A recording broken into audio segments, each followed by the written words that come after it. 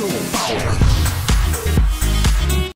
Dames en heren, tof dat jullie kijken naar een gloednieuwe vlog. Mijn naam is Enzo Knol en ik ben nog steeds in het prachtige Oostenrijk. En het is keihard aan het sneeuwen en dat zal ook nog wel ongeveer de rest van de dag door blijven gaan. Je ziet ook dat mijn auto gewoon helemaal is ingesneeuwd zowat. En alle andere auto's natuurlijk. Het is hier nog steeds prachtig. Vandaag zou de D eigenlijk iets gaan doen. We zouden als een baas met iets van de piste afgaan, maar door het sneeuw wordt dat wel een beetje lastig. Gelukkig gaat het niet de hele week sneeuwen, dus we gaan het even uitstellen naar een andere dag. Maar alsnog vandaag ga ik hele vette beelden opnemen met de GoPro, met de stok. Dus dat gaat sick worden. Quinn en ik die kunnen al steeds beter een beetje trucjes, een beetje springen. Dus ik ga proberen om dat ook een beetje in beeld te krijgen. Nu ga ik naar binnen. Ik moest heel even snel naar de auto wat halen. Nu ga ik naar binnen ontbijten. En daar heb ik heel veel zin in.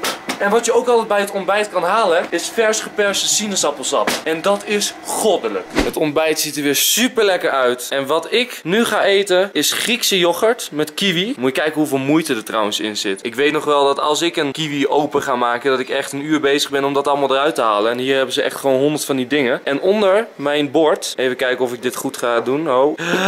Heb ik een ei. Voilà, die ga ik ook heerlijk eten op een bolletje. En natuurlijk, wat je hier ziet, en daar had ik het even over. Dan pak ik even een glas, zet ik dat glas eronder. Moet ik hem wel goed eronder doen en dan... Oh yeah! Oh, dit is zo lekker hè.